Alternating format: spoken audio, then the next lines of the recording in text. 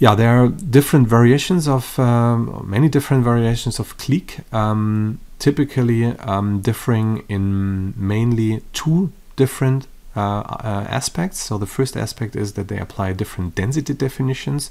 For example, not a fixed threshold, but um, something like entropy for subspaces um, rather than simple counts or, or, something else.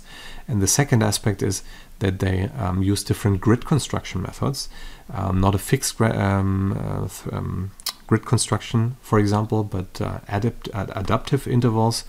Um, but in that case, usually no do uh, downward uh, closure property is given anymore, so uh, you end up again in best first search or stuff like that. Yeah. And in general, of course, I mean, um, maybe you just uh, look up also this cushion in uh, KDD1.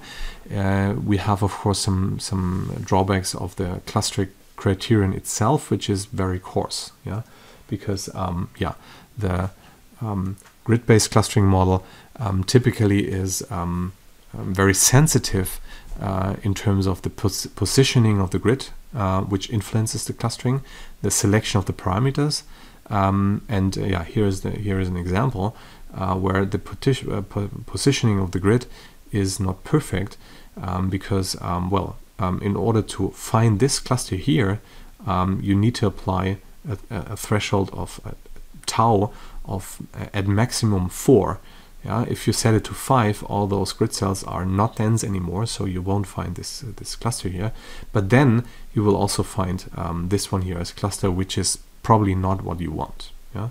Of course, you can do some uh, some kind of post processing here, saying okay, if there is a dense grid cell very isolated and um, at the at the very uh, end of the of the threshold, maybe it's just an artifact, but uh, it that that requires another round of post processing and, and stuff like that. So um, you you don't want to do that typically. Yeah.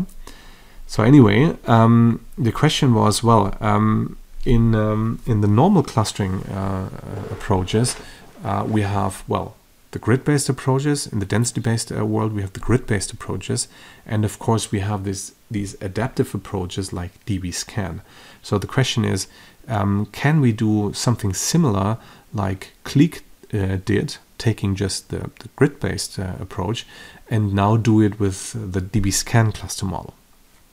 And the answer is uh, to this question is yes, we can, uh, which is the next um, method I want to show you.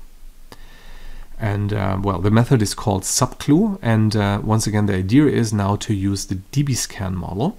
Um, so we have these uh, ideas of uh, the idea of maximal density connected sets. Um, so the density is uh, now defined not by um, the a fix um, a fixed grids uh, location, but um, adaptive to the location of the points. Yeah, because now we have these epsilon neighborhoods of the points. So um, the the volume now is is defined by this uh, epsilon threshold here. So we look from each point uh, around each point uh, in in in uh, in, in, the distance um, of epsilon and count how many points are in this uh, epsilon neighborhood.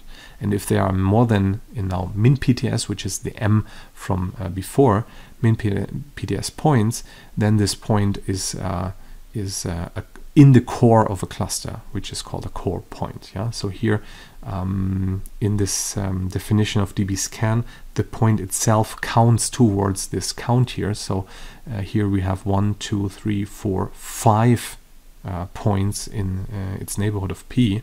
So uh, this point P here would be regarded uh, to be a, a, core point. Yeah? And then we have this density connectivity because a core point may find other core points. So, um, well, a core point is in the core of a cluster, yeah, because it's in a, in a dense area. And then, um, of course, all the points in this epsilon neighborhood should be in the same cluster. And um, some of those points, or even all of those points, may be uh, core points by themselves. Um, so everything what is in their epsilon neighborhood, for example, this guy here is very likely also a core point. So all those points in the epsilon neighborhood of this uh, guy should also be in the same cluster of this one here, and so on and so on. And uh, so you can have transitive chains of core points, finding core points in their epsilon neighborhood, and they should also uh, all be in the same cluster because as long as you follow this chain, uh, you don't leave this these dense this dense area uh, you are in right now. Yeah. So uh, and that is captured by density connectivity. So core points may have core points in the epsilon neighborhood, and we can build this transitive chain uh, or chains of such uh, core points to find uh, connected sets. Yeah. Um, so this is a kind of connected chain here, and um, the chain maybe also there may be several chains um, as long as you follow those chains uh, changes. Um, those chains, sorry, um, you don't leave uh, the cluster. Yeah? So density connectivity is uh, the important concept, and actually um, the the cluster model is the maximum set, the maximum maximal density connected set. So you want to uh, collect all points from all those chains you can uh, follow uh, as long as you don't leave um, the dense area. So that is the basically the, the, the, the cluster model of DBSCAN. So it's a richer cluster model. It detects clusters of arbitrary shape uh, and is now um, not sensitive to the location and the and the and the resolution of the grid. Yeah. Um, so how can we apply that for subspace clustering? Well, the naive approach would be, of course, apply DBSCAN on all possible subspaces. Well, mm, probably not a very good idea because then uh, we have again an exponential runtime. All possible subspaces of a d-dimensional uh, feature space is of course 2 in, in O uh, of 2 to the power of d. Yeah, so exponential in the number of dimensions, not a good idea. So um, a better idea probably is to exploit clustering information from the previous step, uh, step uh, if you uh, apply a subspace search. And um, the, the, the bad news is that density connected clusters are not monotonic. So density connected clusters means maximum maximal density connected sets. But if you omit the maximal, the word maximal, then uh, you are monotonic. So density connected sets are monotonic, and we will have a uh, an example on the next slide. So that means if C is a density connected set in subspace S, then C is also a density connected set in any subspace um, of S. Yeah. Um, if C is a cluster, meaning it's a maximal density connected set, it need not uh, to be a cluster, a maximal density connected set in the subspace, because maximality can be viola uh, violated such that in T there are uh, additional points like we had in the in the in the grid-based approach here. Um, where is it? Here. There may be in the projection there may be uh, additional points that are not in the two-dimensional um, uh, grid cell. And we have the same phenomenon, of course, uh, if we uh, apply um, epsilon ranges, epsilon neighborhoods here. Yeah. So maximality is not. Um, um oops, sorry. Uh, maximality is not monotonic, but um, simply simple density connecti connectivity is. Yeah.